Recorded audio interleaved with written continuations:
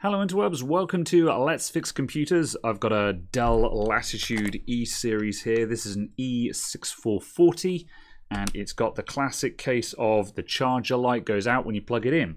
So watch the green light on the charger, it's on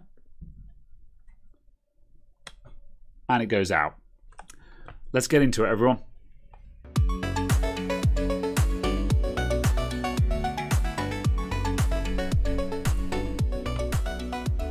So, uh, charger light goes out when you plug it in. Classic sign that there is a short circuit in the laptop somewhere. We've seen this quite a few times on this channel with Dell laptops. Very, very common failure mode. Uh, the nice thing is, is that charger light going out, it's a really nice broadcast of what to expect when you open up the laptop. We know that there is most likely going to be a short circuit on the main power rail with this. So I'm going to go ahead and start taking this apart and as soon as we've got access to somewhere useful, uh, we can start taking some measurements. So I'll just take these covers off until I can see something useful and we'll stick on the multimeter.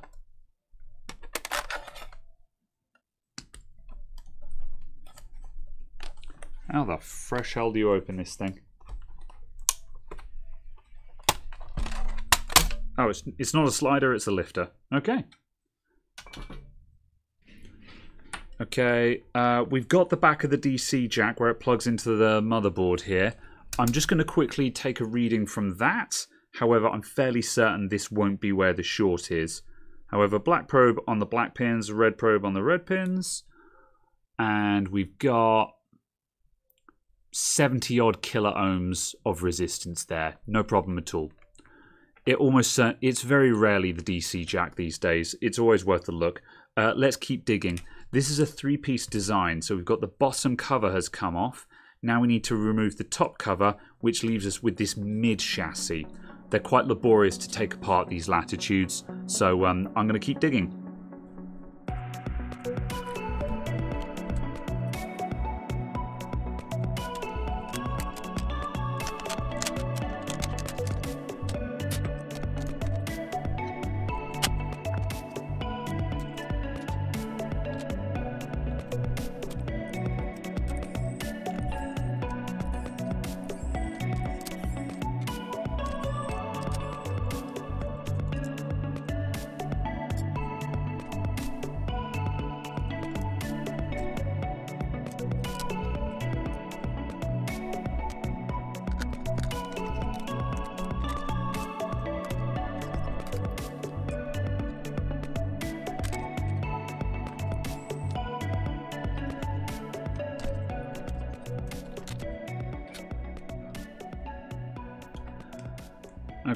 I've been following the uh, I've been following the just take out every screw in sight strategy, which is generally overkill, and I've probably taken out a whole bunch of screws that I didn't need to.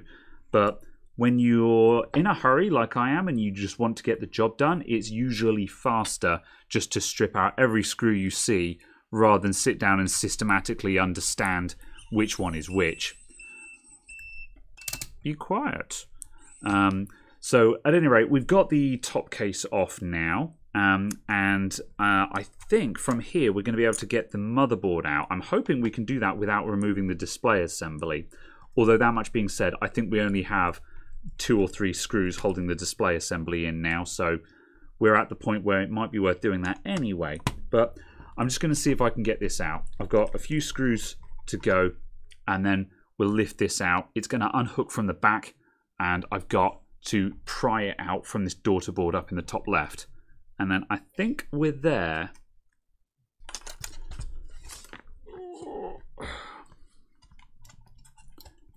Come on, out you come.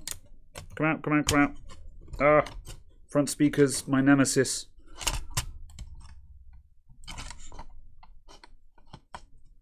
There we go. Uh.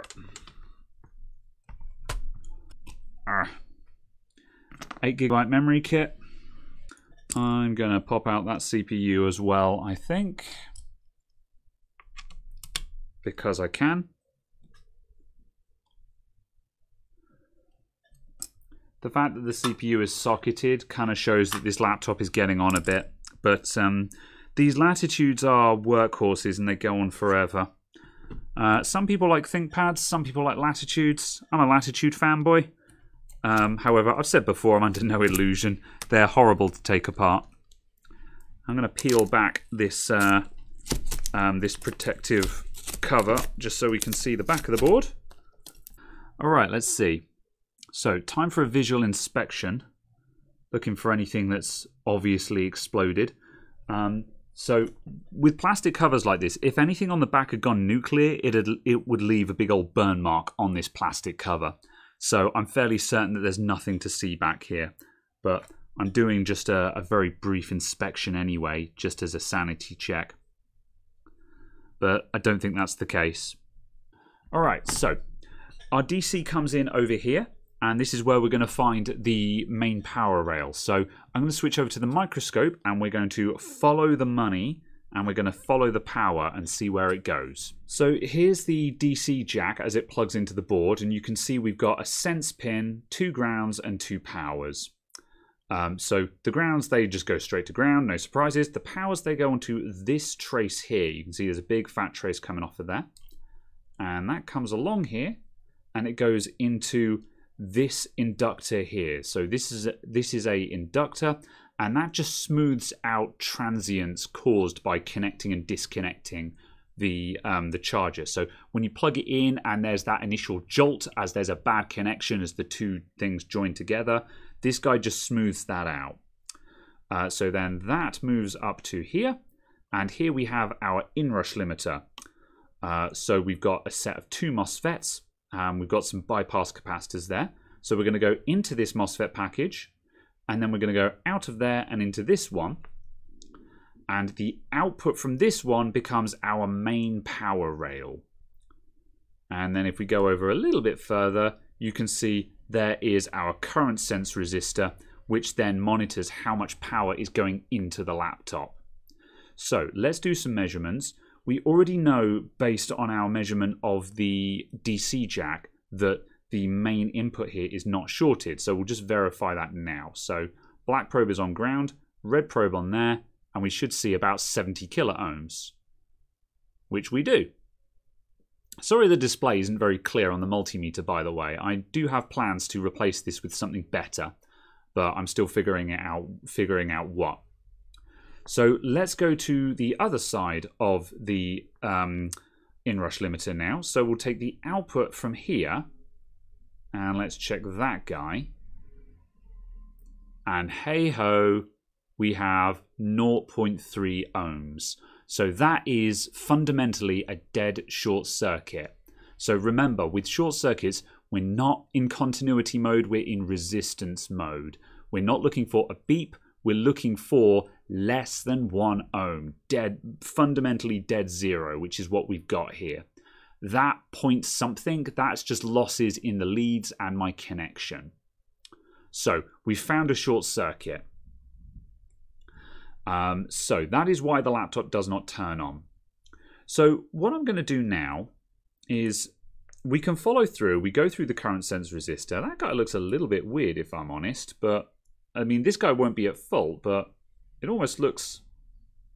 Yeah, that looks alright. Whatever. So once we go through the current sense resistor, you can see we go into this block of vias here. So that's VIA, and it's a path that goes through the motherboard.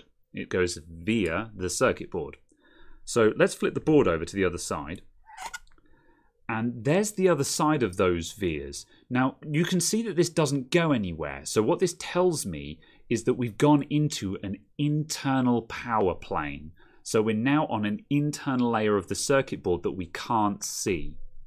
So where do we go from here? Well, we don't need to know where this goes because we know where it's going to come up. It has to appear at any secondary power supply. So over here, we've got our CPU vCore um, circuit. So this is the power supply into the CPU. And you can tell because we've got MOSFETs, inductors, and a massive power trace going up to the CPU socket, or the CPU if there would be one fitted. Um, so uh, this is all going to be powered from that main power rail. So if we measure the input over here, we're going to find that this is all shorted as well. Now, two of these will be the high sides, and two of these will be the low sides. I'm not sure which will be which, and we can't actually tell because the whole lot is going to be shorted to ground. So if we measure one side of this capacitor, we've got zero ohms. And if we check the other side of the capacitor, oh, that's interesting. Okay, we've got megohms there. What about over here? Same. Interesting. vCore input is not shorted. So this is a ground plane, and these are the low sides. And these are the high sides because they have high resistance on their inputs. These should be connected to um, the main power rail, but apparently they're not. I'm going to flip the board over and see what's on the other side there. So on the other side, you can see all of that via stitching for that ground plane. And if I just check these guys, we should find that this side is ground because that's the ground plane. There we go, there's ground again. And these sides are not shorted. Okay. So on this side here, that's our power trace then. So that's coming into there and it goes through the board again.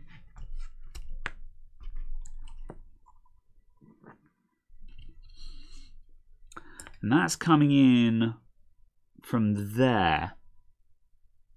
So this is input capacitance for CPU vCore. These guys aren't shorted, huh?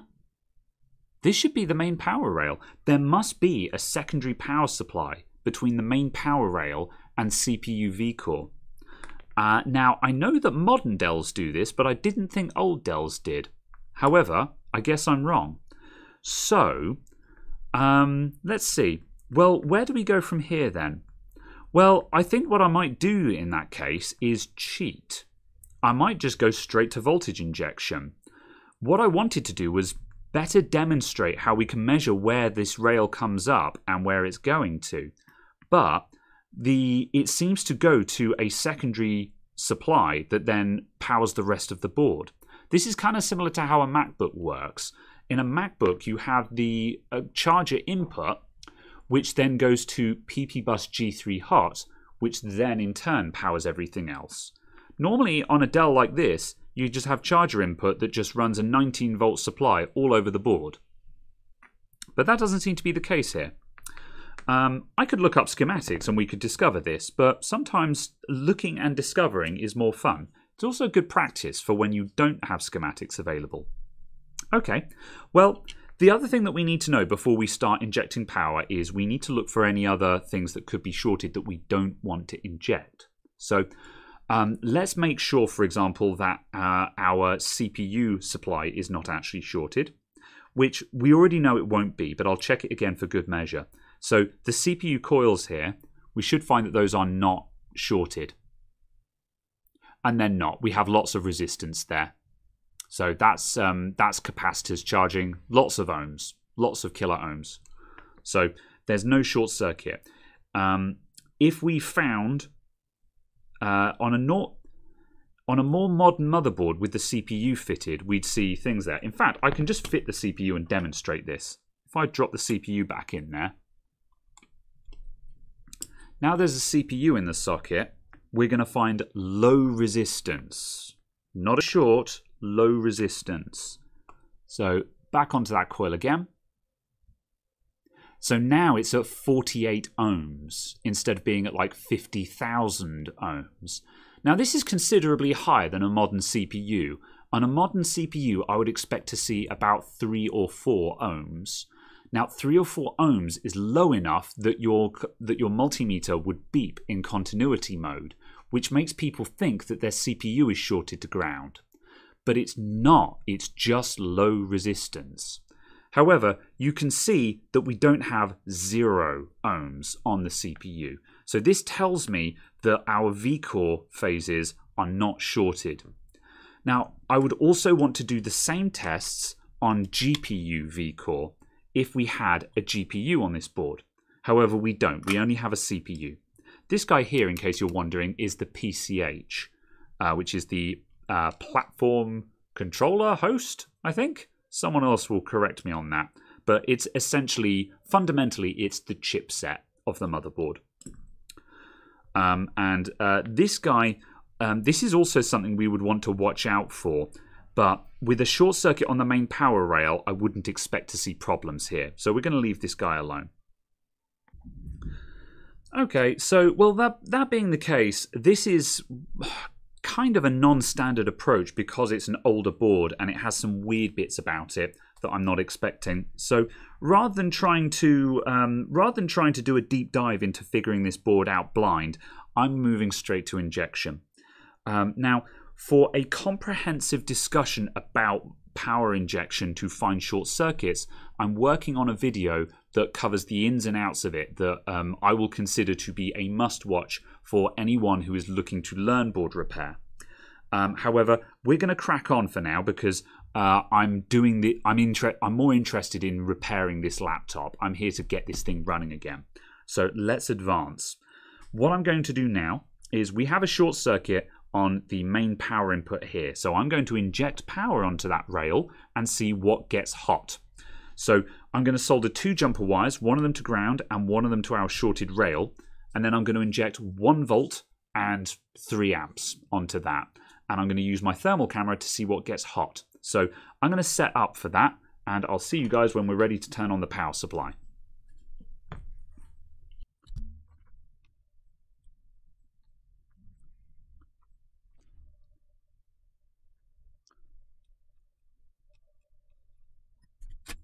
Right, we're all set to go. So I've got my bench power supply set up. I'm starting at 2 amps because when I'm using a uh, thermal camera, you don't need a lot of power to detect it with a thermal camera. If you're using other methods like um, the touchy-feely method, just fingertips or alcohol, you're probably going to need more power. However, we are now blessed with the modern technology, so I'm going to turn on the power and let's see what gets hot. Right, so notice that we've sunk down. Well, we're actually running a volt. That's um, not so good. I would like to be a bit lower than that. We are at 2 amps, though. Nothing heating up there.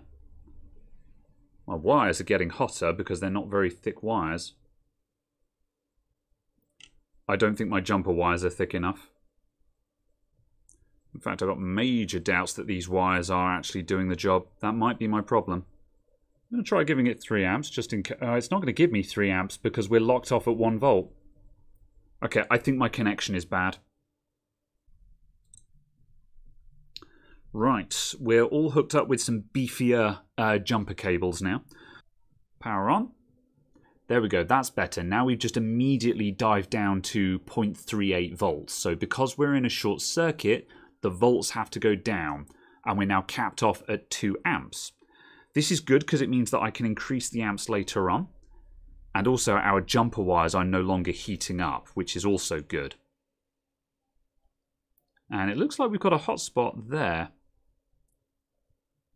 And there's a bunch of capacitors there, so that definitely looks promising.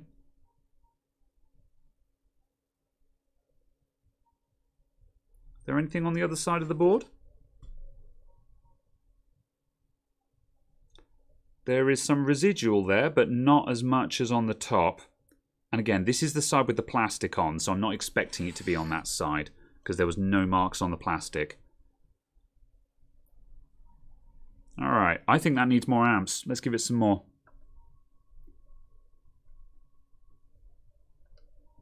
That's 3 amps, and we're up to 0.57 volts now. And yeah, there we go. We're starting to light up there now. So due to the accuracy of my thermal camera, it's um, you can see from the heat map of my hand that this thermal camera is not very accurate at close range, which is very annoying. Um, but it's definitely one of those caps. I'm guessing it's the far left one. Um, so let's switch the power off and inspect those. So there are the four caps that we were just looking at, and I suspected that it was the far right one, this guy, who was actually heating up. Um, none of them look in great condition. If we go to a slight angle, If we go to an angle, you can see that the far left one has got lines on it. It almost looks like it's cracked. And the second one, that looks okay.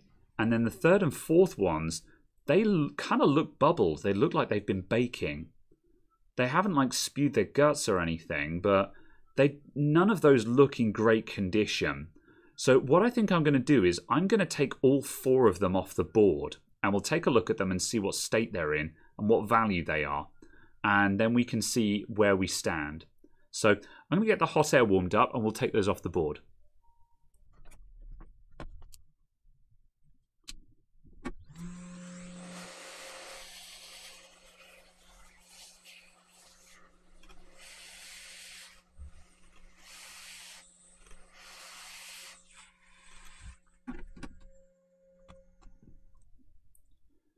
So, first of all, have we found our short circuit? I'm going to probe the points where I was injecting again. So, ground point and that main power rail.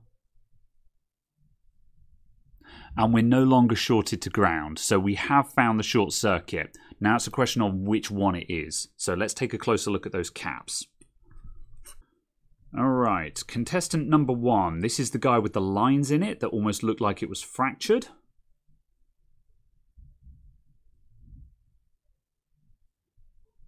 That is open line. Now, if I didn't know better, I would say that's blown open. There should be some resistance there. I think this one is dead, but it's, it's failed open, which is unusual for a capacitor, but, you know, it can happen. So, fine, we'll stick him to one side. Contestant number two.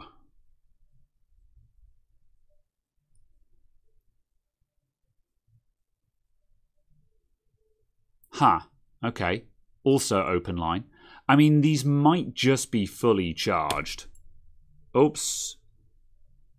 That one is now gone because I slipped off of it and it was ejected into the void. We'll never know. Contestant number two is missing in action, everyone. Contestant number three. Will you fare any better? This is one of our bubbly boys. That is dead short. That's our guy. So that is our short circuit. That's kill. So that's our culprit. Put you to one side in the naughty capacitor department. And contestant number four, what say you?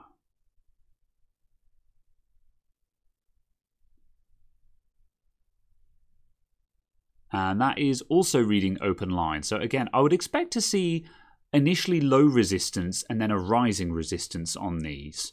So that doesn't mean they failed though. We found one failed capacitor, so we found our culprit, we win. So let's try doing um, a capacitance measurement on these to see if we can determine what they are. So I've, slit, I've switched the multimeter into capacitance mode, and let's see what these, these two remaining guys read.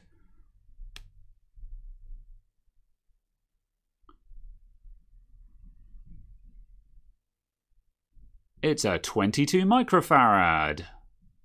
Love to see it. Overplayed. They're everywhere these days. And you...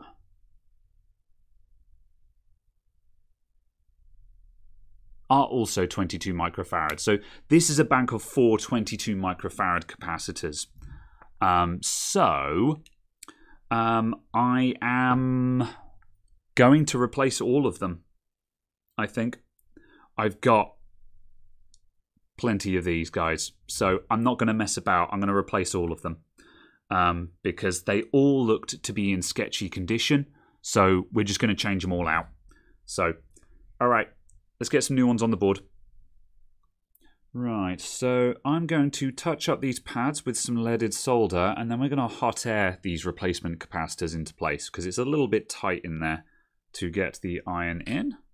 Certainly doable, but it would be easier with hot air.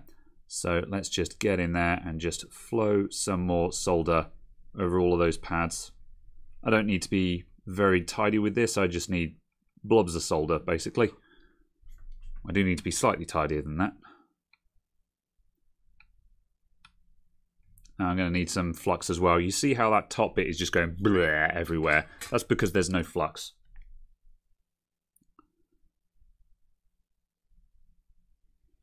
And this is what the flux does, is it stops the solder from going blur.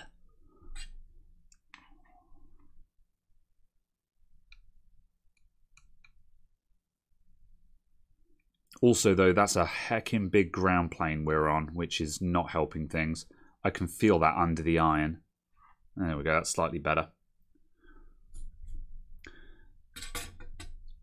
This is the reason why when I was injecting power, we weren't seeing much heat develop. This actually would have been quite difficult to find without a thermal camera. We would have needed a lot of power going into that um, because uh, this section here on the right is a ground plane and it's just sucking all the heat out of everything. Um, and that's probably why as well there wasn't just any real visual indicators for this because the capacitors were short but they were also effectively sitting on top of a heatsink. Right, here comes the hot air, and we've taken the airflow right down because we're putting stuff back on the board and we don't want to blow it away. I'm just going to line these guys up. Get them all vaguely into position.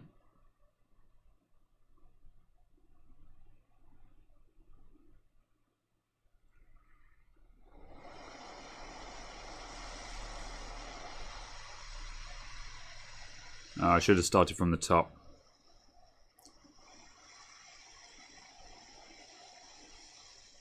Once the start, solder starts flowing, it'll get easier.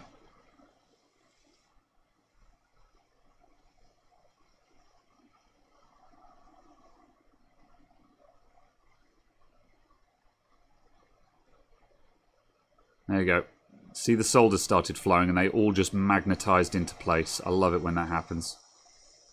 Can you go straight, please? Beautiful. Oh, that's the dream. That's the dream. Not like that wretched Chromebook I was doing the other day when this when the capacitors just did not want to go on.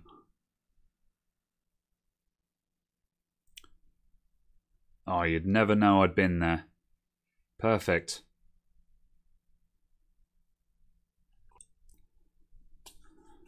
Okay, now we're reassembling. So this is going to be really boring, so I'm not going to commentate on it. Let's get it done. Just for posterity as well, this section we were working on, this was the main power rail power supply that I was looking for or talking about earlier on. We had a short circuit on this side here, and we go through this MOSFET, through this inductor, then there's a current resistor there, and then this power rail here then connects to everywhere else in the board, including CPU vCore. So this is why we did not see the short circuit at vCore input, because that is all behind this MOSFET, and the short circuit was in front of the MOSFET. So that was essentially acting as a block between the shorted section and the not shorted section. Um, so as I say, I didn't think old Dell uh, laptops did this design, but clearly they do. Um, however, yeah, some laptops like Dell's, you will see they'll have a 19 volt power rail and then they'll have a secondary power supply, probably going down to an arbitrary value like 12 volts that goes to the rest of the um, motherboard. We could look up the value, but it doesn't really matter. The point is there was another power supply there.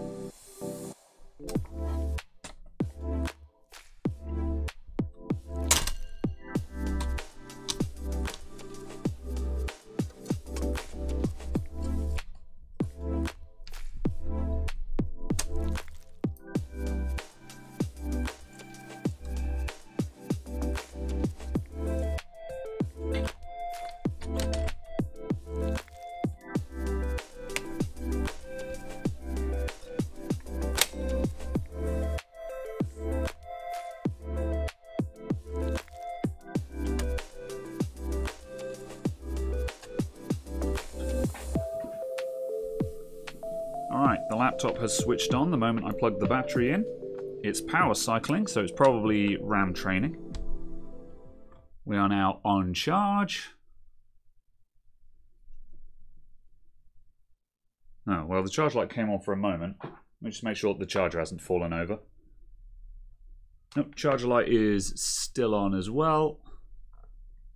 It's going to make me nervous. I put in a lot of screws without testing this, and I'm now suddenly very aware of that. I mean, it must work because it's powering on. Everything else is just post issues.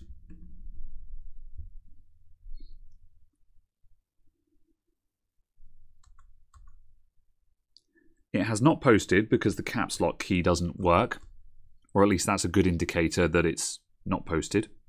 I'm going to turn it off and on again. I might just pull the SSD out and reseat the RAM. No need to panic quite yet.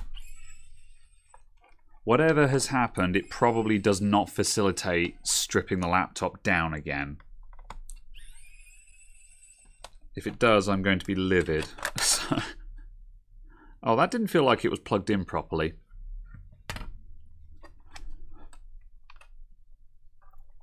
Also, let this be a lesson to you guys to uh, test before you put all the screws in. The only reason why I didn't is because I forgot. Right, CMOS battery is connected. That is on properly. I'm just going to pop the RAM out and just put it back in again for good measure. These memory modules didn't go in very nicely. They didn't feel very satisfying, so lots of things that this could be still.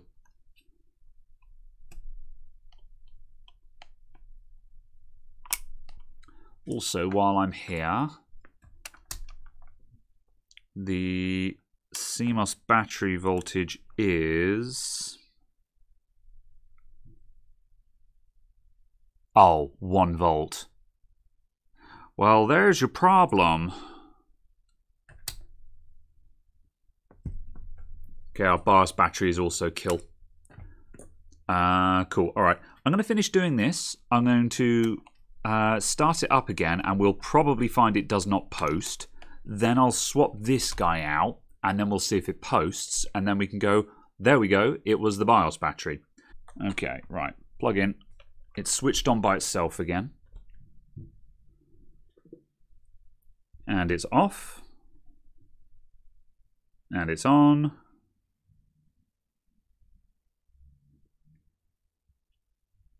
Another power cycle. This looks more like RAM training now. No one likes having to buy these ones, but make sure you got them.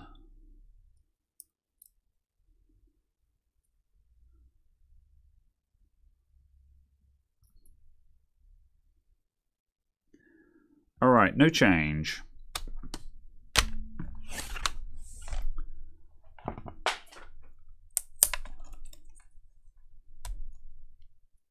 Make sure that these are the correct polarity. They are.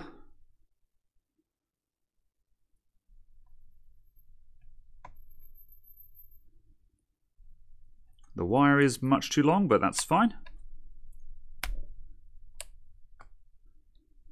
It's power cycling again. I'd expect it to need three, maybe four power cycles before it actually posts. So I'm giving it I'm probably cutting out time gaps in editing because otherwise it's just a lot of sitting with nothing happening. But I'm giving it like a good 30 seconds a minute for each of these attempts. Okay, I've turned it off and I'm turning it on again.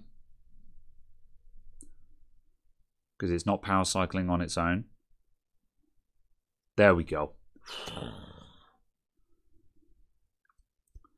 All right. Invalid configuration information, that's fine. The we win screen. Good. So if it hadn't posted then, my next thoughts would have been that the BIOS was scrambled, um, maybe bit rot or something like that. I don't know. Um, like the the BIOS battery had gone really low there. That might be to do with the shorted rail in there. Um, uh, because there was a short circuit in the laptop, it's possible that just everything was was eating power. Also, though, just based on the age of the laptop, it's entirely possible that this is probably just died of old age because it's a ten year old laptop. Um, Uh, it if I'd given it a couple more tries, it might have started with this guy in it, um, but we would have been seeing issues with it not keeping day and time and stuff like that. This guy is indisputably flat, no questions there. Okay, well, very straightforward fault from the outset. Charger cuts out. We found um, a bad capacitor at uh, the main power rail power supply where it converts charger voltage down to a probably 12 volts. I never bothered checking it, doesn't matter. Uh, but we replaced that dead capacitor. We replaced the other ones near it as well because they all looked a bit ropey. Um, and then we had some funky post issues, which I think were down to just a bad um, BIOS battery. Anyway, thank you everyone for tuning in. I'll see you next time. Bye for now.